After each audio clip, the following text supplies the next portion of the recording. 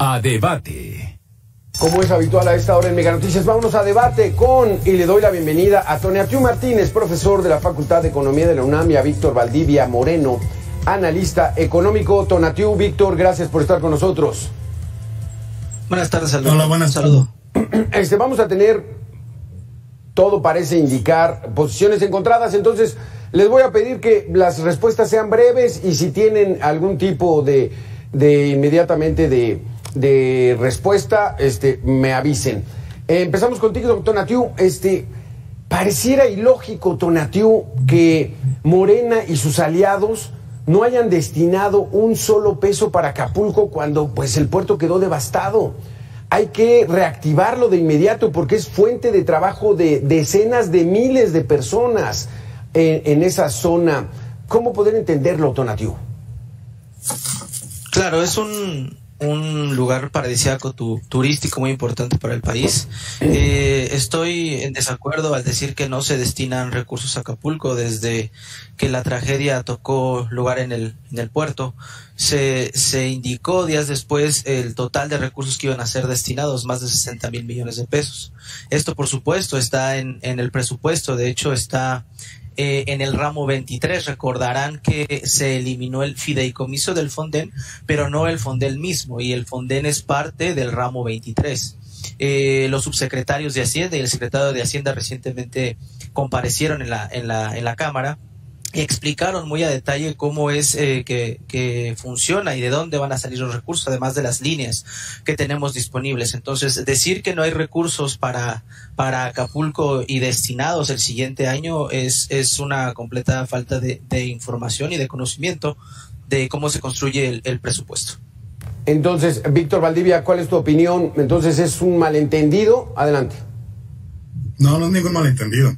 Lo que pasa que lo que estaba pasando, aquí es muy sencillo. Estaban pidiendo automáticamente los diputados un ingreso extra, más allá de lo que es el fondo Tonatio tiene razón. Si hay un presupuesto, son 60 mil millones. Nota, ahorita inclusive por eso estoy buscando, porque aquí tenía la lista de lo que el gobierno del estado de Guerrero estaba declarando en los gastos, no va a alcanzar, son más de 200 mil y nada más tenemos 60 mil para poder apoyar. Entonces todavía tenemos un déficit de más de 140 mil millones. Digo, tiene razón Tonatiuh si hay una línea presupuestal porque el Fonden se convirtió parte del presupuesto, más esto no alcanza. Si hubiéramos tenido el Fonden antes que lo separecieran, que tenía más de 350 mil, se hubiera alcanzado. Entonces, es por eso que muchos diputados empezaron a pedir que hubiera un ingreso extra para recuperar Acapulco en tiempo y forma, porque también todavía tenemos si bien yo aplaudo a la Comisión Federal de Electricidad por el rescate y cómo han estado levantando las líneas terrestres, todas las líneas eléctricas, tenemos el problema de que aún así no ha sido suficiente. Pero tenemos parte de Acapulco que sigue a oscuras, todavía tenemos parte de municipios que están fuera y tanto no alcanza que por eso inclusive podemos ver que días después el presidente dijo, ups, nos equivocamos, la zona de desastre no es tan grande, nada más dejamos en Acapulco y en Coyuca. Y los demás municipios que fueron afectados, todo lo demás, como Benito Juárez, como parte de Chilpancingo, Juan, Juan R. Escubedo, Martín Cualpan, del Progreso, o Pungarabato, por decir algunos de los puntos, o Atoyac de Álvarez, que también tenemos elementos que se volaron los techos y demás, y resultaron dañados, ya no aparecen en el fondo. Y cuando estamos hablando de todo lo que se necesita para rescatar Acapulco, estamos hablando más de 2 mil millones, 299 mil 195 millones de dólares. ¿Ok? Datos del gobierno de Guerrero, que todavía no está actualizado, pero ¿qué es lo que ellos mismos estaban sacando? Aquí está. Entonces, automáticamente por eso estamos comentando que los 60 mil que bien dice Donatiu y tiene toda la razón, están ahí, dudamos que pueda alcanzar para levantarlo sí. en tiempo y forma. Más porque ahorita tenemos el problema de que una de las etapas más grandes de Acapulco, que más dinero generaba, era durante la Navidad, más que en el verano, y prácticamente se le van a perder. Aquí particularmente, entiéndanme algo, cuando pido rescate de Acapulco, no estoy hablando de los hoteles de gran turismo, esos no me importan. Los hoteles de cinco estrellas se rescatan solos. El problema son los de cuatro, de tres estrellas para abajo. Todos los, todo lo que sería la clase media, todos los hoteles que tienen que haber para pymes, esos son los que van a tardar más en recuperarse y sobre todo que estamos viendo que le van a llevar mucha ayuda, como la vez pasada, en licuadoras, en refrigeradores a la gente. Y está padrísimo. Pero lo que necesitan son techos y ayuda para reconstruir las casas, no una licuadora. Y los negocios, Tonatiu. Pero entonces, ¿en qué parte del presupuesto, Tonatiu, está destinado para el 2024 dinero para Acapulco? Todo se ubicó y se reclasificó al ramo 23. Una vez que desapareció el fideicomiso como tal, como fideicomiso, se, eh, se llevó al ramo 23, al, famosísimo ramo 23. Entonces, eh, eh, lo que pedían, como se menciona, es una hacer una etiqueta especial para los recursos de este desastre en particular que, que causó una catástrofe sin lugar a dudas pudo prevenirse eh, en tiempo por la velocidad en que cambió el, eh, las fuerzas de, los vientos. Entonces, eh, recordemos que el, el Fonden, un fideicomiso, como figura jurídica, como instrumento, fue lo que se eliminó en años anteriores, pero los recursos permanecen al ramo 23, entonces ubicando el ramo 23 nosotros podemos fácilmente eh, eh, encontrar la cantidad de recursos que, que se han explicado permanecen ahí, que se utilizarán también aparte de las líneas adicionales a, para este, atender este desastre. También es importante mencionar que se, se ha hablado de ampliar la, la línea o el, el total de 61 mil millones a 100 mil millones atendiendo principalmente a los poblados más pobres y reconstruyendo eh, de ahí en adelante. Pero, pero, pero, ¿de dónde, de dónde esos 60 mil o 100 mil, este, Víctor Valdivia, para el año que entra? ¿De dónde? Ya está el presupuesto asignado. Mira, hay un excedente petrolero que la vez pasada que compartimos pantalla Tonatio explicó de manera perfecta de un 15% y ese excedente petrolero se podría tomar. Aquí el problema es que en el ramo 23, cuando lo empezamos a comentar, hay que recordar que no solo es para Guerrero. Esa también es la gran diferencia. El ramo 23 del presupuesto federal se contempla para todos, todos los demás estados y se asigna 2.8 del programa del sector público. Estamos hablando de más de 961 mil millones, pero entienden que de esta parte sale para todos el país, no solo para Guerrero. ¿Ok? Primer punto, hay que entender esa parte. Segundo, este ramo 23 muchas veces se utilizaba antes para pedir para que los municipios pedían para lo que era alumbrado, ambulancias y demás. Ahora aquí se está metiendo el presupuesto de rescate, pero hay un pequeño problema. ¿Por qué también estamos peleando? Porque cuando estaba el fideicomiso, que a mucha gente no le gustaba, no sé si por ignorancia o por seguir el juego al presidente, pero los fideicomisos, al menos el Fonden original, y les recuerdo que tiene más de tres mil, más de 300 mil. Pero ¿qué fue lo que pasa? Ese dinero se toma, se le va gastando en gasto público, en apoyos y demás. Tenemos ciertas dudas todavía de qué quedó y lo que queda es parte de la línea presupuestal, más no queda lo que realmente estaba en el Fonden, porque el Fonden cada sexenio, cada año se iba incrementando. ¿Por qué? Porque precisamente en México no sabíamos cuándo íbamos a sufrir ese tipo de embates, ni huracanes ni sismos. Tiene razón Tonatiuh. Efectivamente, el ciclón que el tornado que tuvimos fue muy rápido. En menos de 24 horas ya estaba convertido en huracán. Y los únicos que dijeron, viene un huracán muy grande, 24 horas antes fue en Estados Unidos. Acá en México nadie les hizo caso, pese a que durante años hubo mucha comunicación entre la Comisión Nacional de Aguas y el Centro de Huracanes de Miami. Efectivamente, aún así, coincido con él, 24 horas era muy poco tiempo. Hasta el presidente lo dijo, me quedé tentado en decir la alarma, pero ya no hice más. Lo entiendo. Era muy poco tiempo y en 24 horas nadie podía asegurar casas ni podían salir corriendo. Ok, esperemos que las familias de los muertos lo entiendan. Pero también hay una realidad. Necesita Guerrero más fondos. Estos 60 mil que están ahí no van a alcanzar. Que ya está presupuestado. Se necesitaba más. Y también viene la otra. Si tuvimos otra catástrofe en los próximos meses, vamos a tener un problema mayor. Y recordemos que estuvimos muy acerca. Porque también hubo tormentas en el istmo. Gracias a Dios, gracias a Dios, no se hizo un huracán, no pasó mayores, nada más el lluvia Qué bueno. Pero es el problema que tenemos. Y es el problema cuando se destruyen estos fideicomisos, que era para tener dinero permanente para cuando ocurriera un desastre que ninguna avisa. Porque igual como pudo haber sido un huracán, marca Tonatio, pudo haber sido un terremoto a la Ciudad de México, pudo haber sido un volcán o cualquier otro desastre natural. Ah, hay es todavía, normal que pase. Hay todavía, Víctor, este, hace un mes que pegó Lidia en Colima y no hay apoyos para los habitantes pegó Norma en Baja California y tampoco hay apoyo para los visitantes. Vamos a hacer una pequeña pausa, regresamos con, con Tonatiu para, para conocer esta situación en torno a hay o no hay dinero para Acapulco, centro turístico que le da empleo a decenas de miles de familias. Regresamos.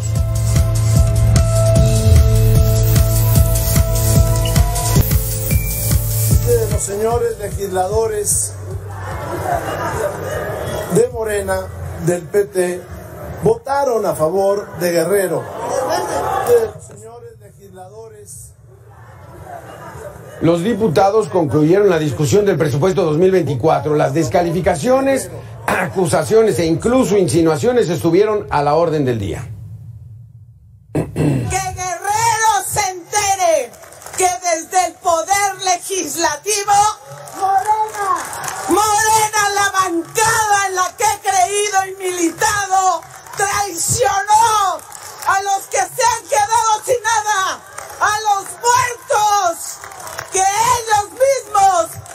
Frenaron, que el anhelo de justicia social es una simulación.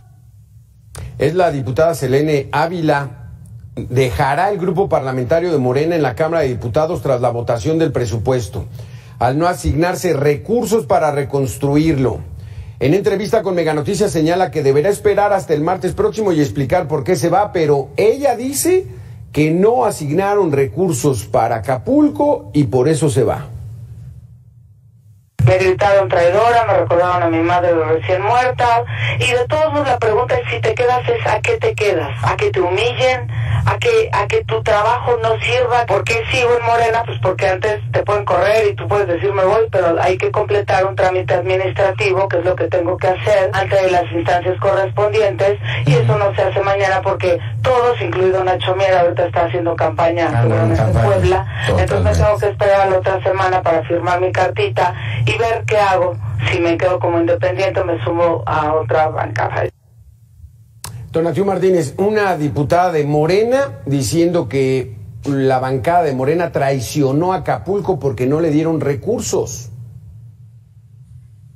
Sí, una diputada hebradista eh, eh, lo comentó, una diputada de del total de, de la bancada. En realidad el, el proyecto avanzó gracias a que eh, se tuvieron los votos necesarios y en ese sentido Morena nuevamente eh, con la fuerza que le ha dado la, eh, el voto popular eh, a través de, de la democracia ha, ha logrado pasar el presupuesto de egresos de la Federación 2024 tal cual prácticamente como se presentó el proyecto de- del presupuesto. Sí. En ese sentido, bueno, la, la diputada puede eh, no estar de acuerdo con, con la situación que, que se aprobó, sin embargo, pues los datos son claros y si quiere salirse de la bancada tiene todo el derecho también a ser independiente o a ser parte de otro, otro grupo político que pues que comulgue con, con su forma de ver las cosas.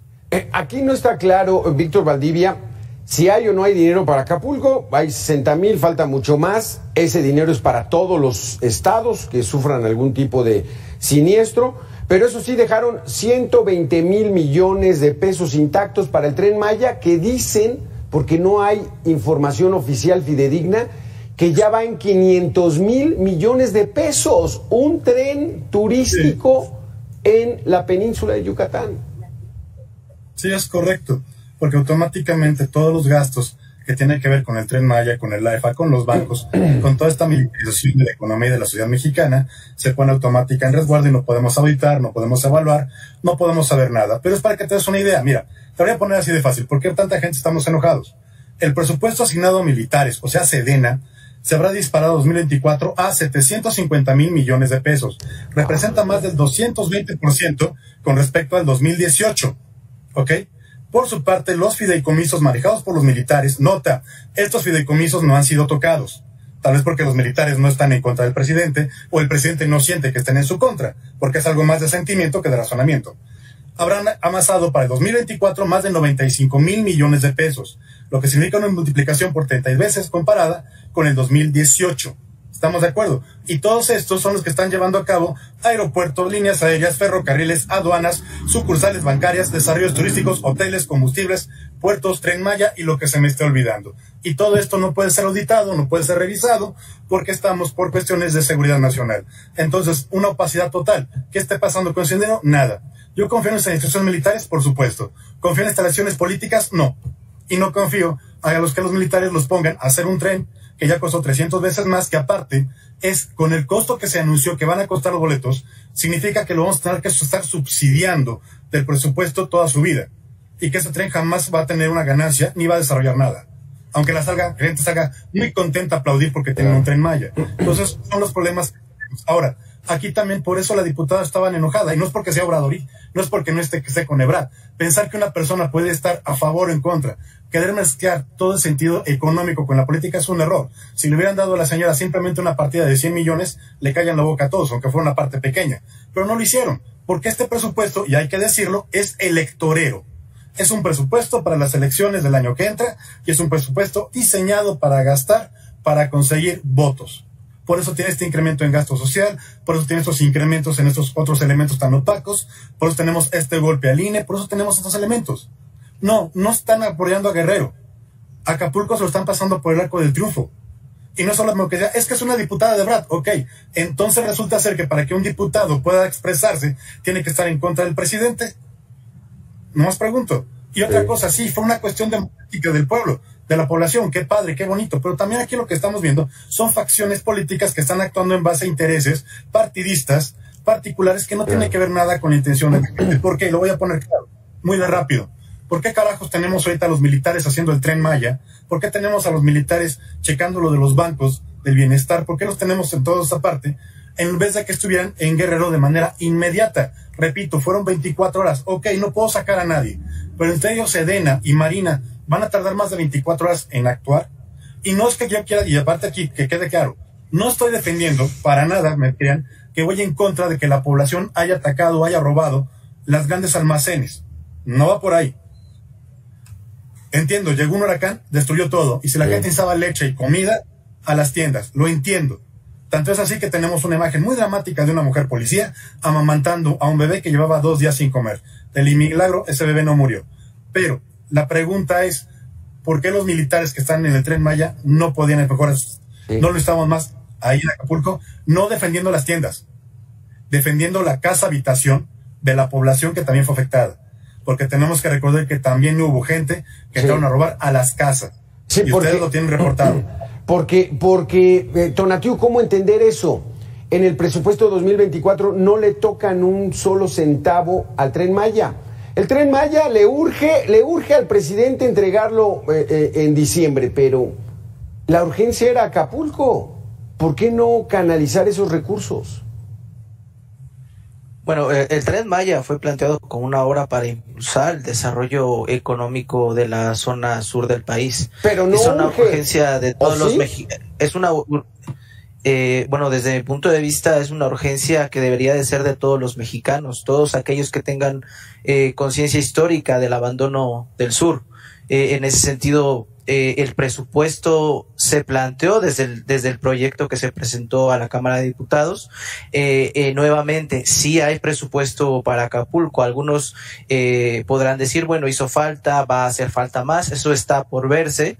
Eh, eh, y sin duda están fluyendo recursos. Ahora, conforme a lo que se comenta, también es importante decir que no fueron 24 horas eh, antes, fueron 10 horas y media más o menos.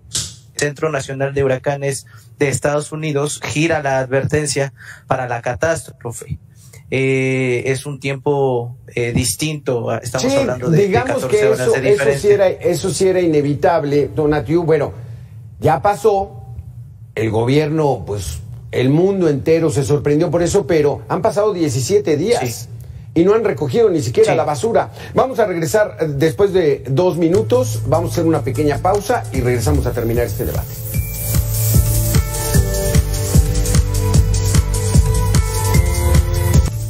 Gracias, Tonatiu. Gracias, Víctor. Vamos en este último espacio del debate. Víctor Valdivia eh, dice, Tonatiu, que que urge la construcción del tren Maya en la península. ¿Cómo lo ves? Mira, ahorita lo escuchabas, efectivamente va a tener un fuerte impacto en el sur del país y efectivamente el sur ha sido relegado históricamente, esa parte no lo niego. Al contrario, tiene toda la razón, pero también le recuerdo que Guerreros también está en el sur de México.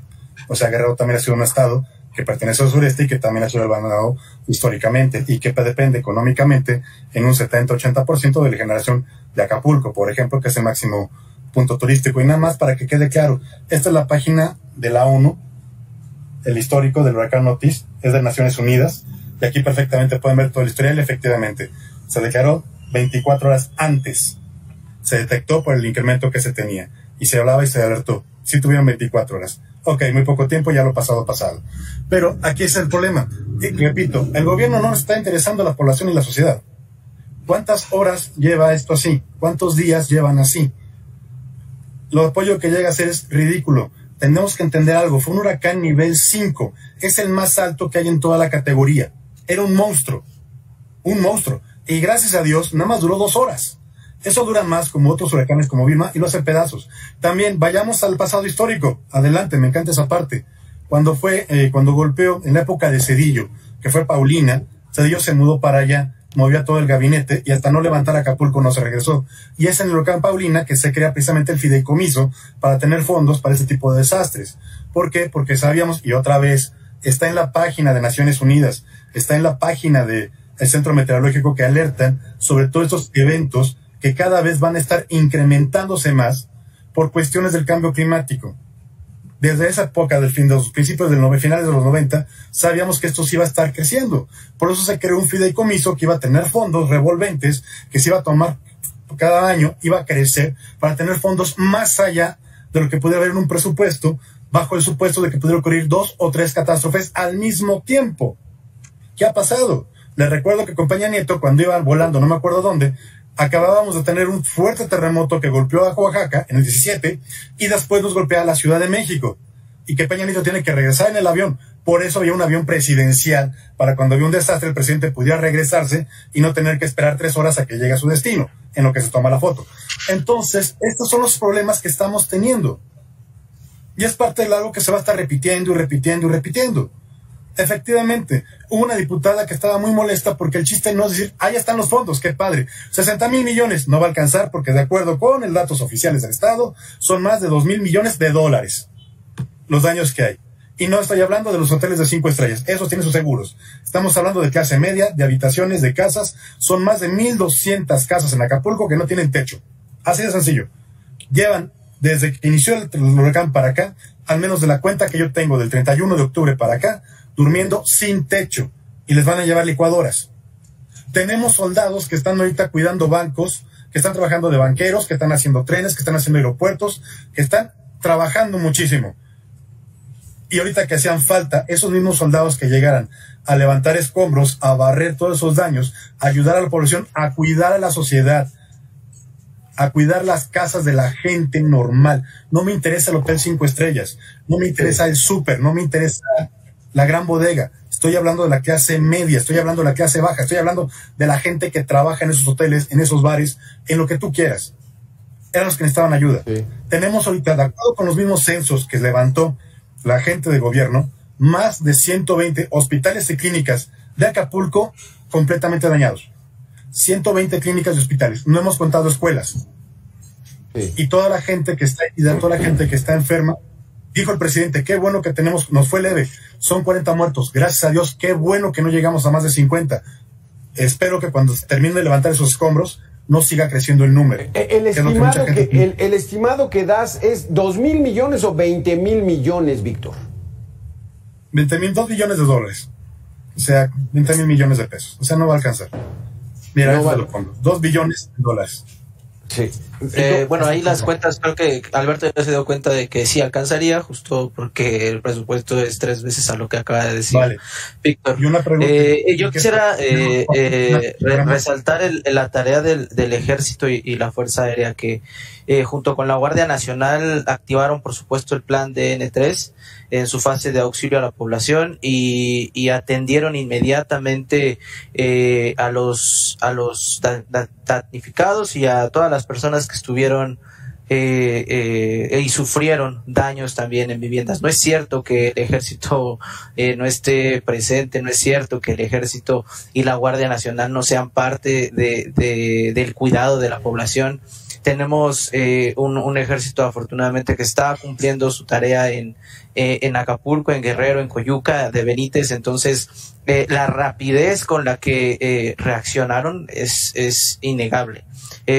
Alguien podría pensar y argumentar que la gente tentó, tendremos que volcarnos e ir allá, pero bueno, esto tiene que ser de manera organizada, ¿no? Y, el plan DN3 para eso está. Entonces funcionó, se activó y de acuerdo con los presupuestos y los datos que está dando Víctor, pues estamos sobrados. Eh, ese, eh, pe- No, pero, están sobrados. pero No luz sobrados. 60%, este, agua potable no hay, Víctor, adelante. No estamos sobrados, vamos a quedar muy justos y Dios quiera no pase nada más el próximo año, porque todo ese presupuesto es para el próximo año. No estamos sobrados. Y donde ocurre un terremoto, otro huracán, inundaciones, tenemos problemas. Eso es por lo que estaba pidiendo una partida especial para Acapulco, porque siempre tenemos el problema de que en cualquier momento puede ocurrir un desastre. Número dos, te aviso, Tonatio, entiendo que te aplaudas a Morena, qué bueno, entiendo tu camiseta partidista, la respeto y la admiro, porque hay que tener mucho hígado para apoyar a este pres- presidente. Pero tardaron 48 horas en entrar. Y Acapulco estuvo sin luz más de 42 horas, sin electricidad, con saqueos y con todo. Y podemos ver los noticieros como exactamente tardaron 48 horas en entrar la policía, la Guardia Nacional y empezar a calmar la situación. Y no tuvo un impacto inmediato. ¿Por qué? Porque antiguamente cuando estaba con el Fonden de manera original, al momento que se sentía el daño, no teníamos que esperar a que Presidencia activara el sistema de alerta para que entrara automáticamente el DN3A, para que entraran todos los elementos. Ah, por cierto, este estimado que te acabo de presentar es al 31 de octubre, no está actualizado. Todavía falta todos los daños que salieron del 31 de octubre para acá. ¿Vale?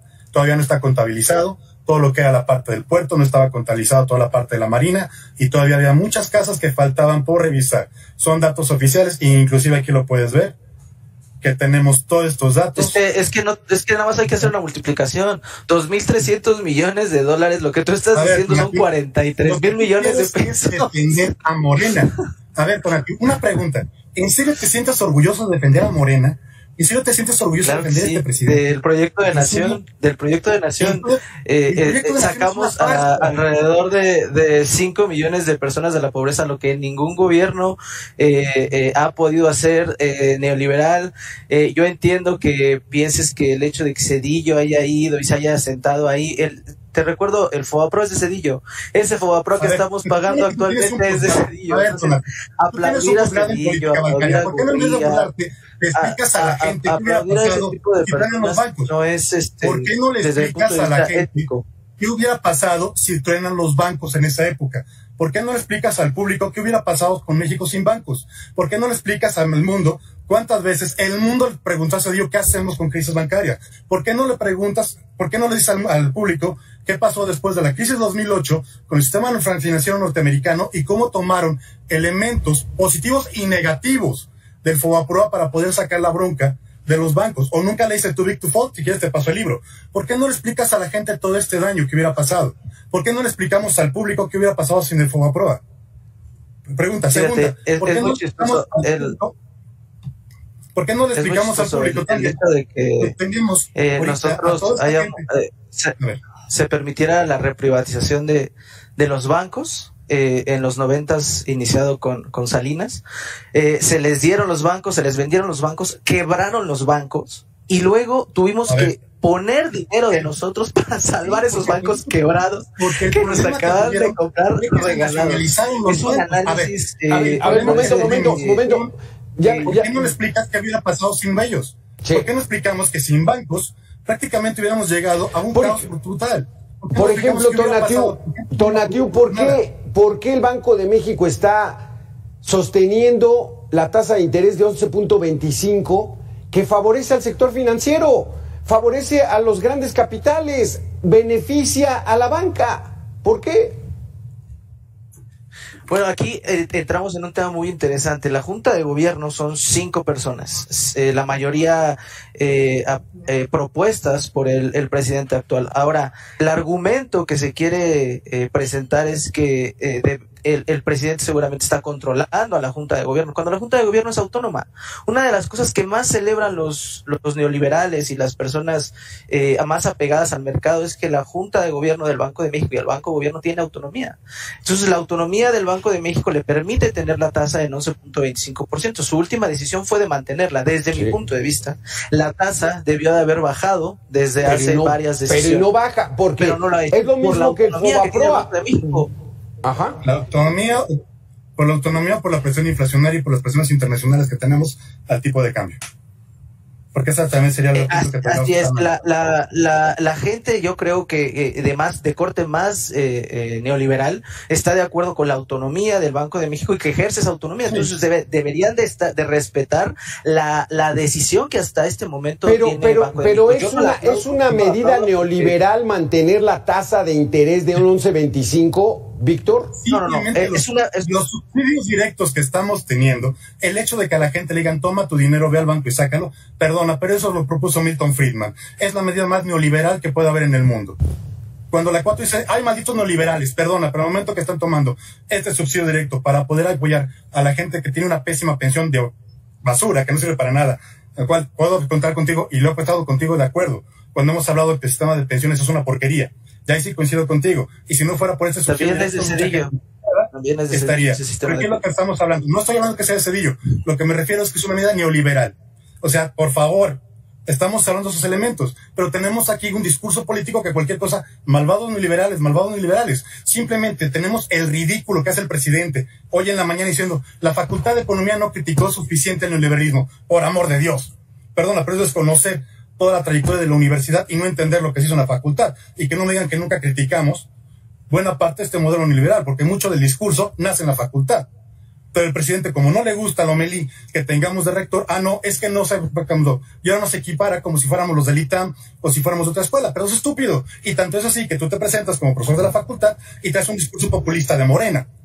Entonces, ¿dónde queda la congruencia de este gobierno? Yo lo mismo que estamos hablando. Me dices, no, saca la multiplicación, sí te alcanza, claro que alcanza. Pero yo te pregunto, ¿y qué va a pasar si tenemos otro huracán o un terremoto?